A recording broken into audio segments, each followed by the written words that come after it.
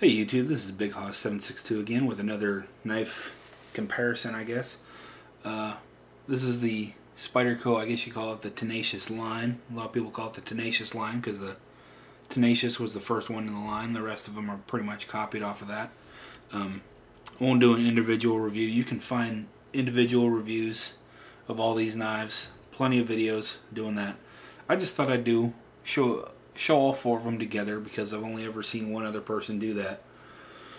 So anyway, we have first off the Spyderco Ambitious. Uh, I don't, uh, unfortunately, I don't have the specs in front of me, but nice little knife. I usually don't carry knives that small, but that's a nice guy. I had to, it was on sale, had to get it. Uh, Spyderco Persistence. This is the Spyderco Tenacious. That was the first in the series. And then here is the Resilience.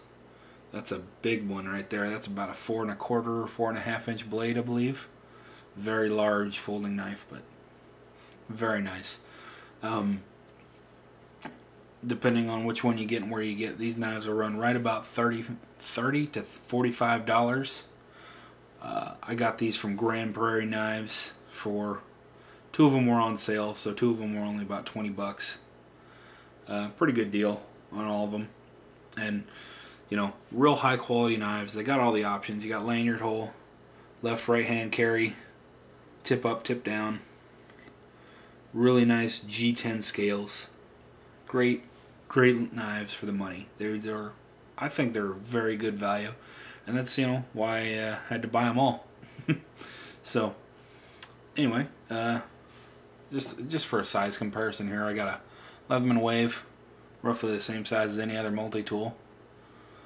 So, you know, there they are. And, uh, yeah, so that's the whole lineup. Thanks for watching. Have a great day.